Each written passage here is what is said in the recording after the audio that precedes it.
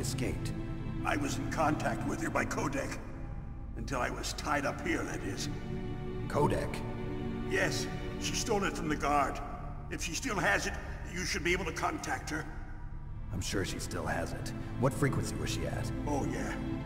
Let me tell you, it's... Oh. Sorry, I forgot.